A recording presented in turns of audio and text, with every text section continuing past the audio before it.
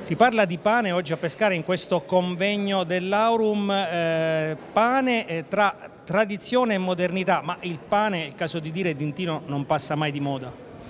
Beh, ultimamente sta passando un po' di moda, questo è uno dei problemi per quali abbiamo voluto fare anche questo convegno, perché il pane considerato il re della tavola, ultimamente sta diventando il povero della tavola. E per questo motivo vogliamo cercare di risvegliare il pane che sta seguendo anche la modernità, cioè nel senso i pani stanno cambiando, si sta andando verso i pani che hanno un contenuto di carboidrati più bassi, nel caso mio specifico stiamo facendo anche degli studi per quanto riguarda un pane glicemico che quindi possa andare incontro alle esigenze di chi soffre di diabete, stiamo, stiamo riscoprendo dei pani con un maggiore contenuto di fibra, però la realtà è che il consumo di pane negli ultimi anni è sceso del 55%. Ogni regione ha un pane particolare, il pane abruzzese eh, d'Intino per esempio eh, da cosa si differenzia rispetto agli altri pani? Diciamo che il pane da tradizione abruzzese è un pane che doveva seguire le esigenze dei contadini, del, del, del gregge, della, della pe, quindi è un pane di formati grandi, di formati grossi dove c'era contenuto pane di lievito, pasta di riporto, lievito madre quindi dava